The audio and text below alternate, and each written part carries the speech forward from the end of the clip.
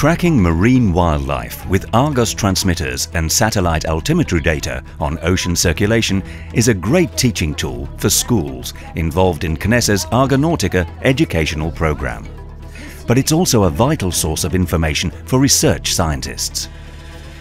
Nous utilisons les, les systèmes euh, de suivi satellite euh, via les balises We use Argos transmitters and satellites to track the movements of marine predators like penguins, albatross and elephant seals, so we can see at ocean scale where their main feeding grounds are.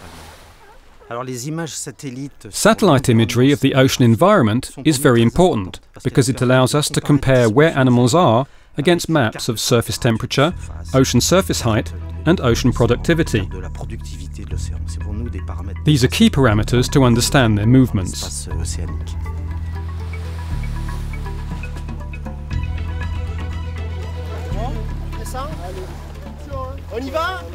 Les tortues sont des animaux marins Turtles are very dependent on the distribution of currents to get about in the oceans. océans et qui font des migrations entre They migrate a long way between periods when they come ashore to lay their eggs, and it's vital for us to have high quality satellite imagery so we can relate their movements to the distribution of the main oceanographic parameters.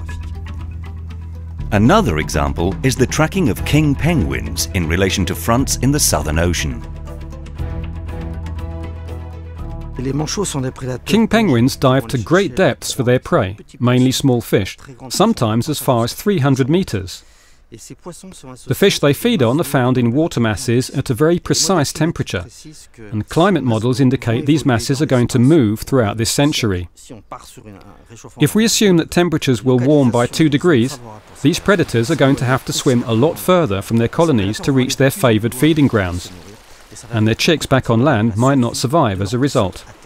Ainsi, à Crozet, On Crozet in France's southern islands, for example, if CO2 emissions continue at their current rate and global warming exceeds 2 degrees over the next 100 years, one of the largest populations of king penguins in the world is likely to become extinct.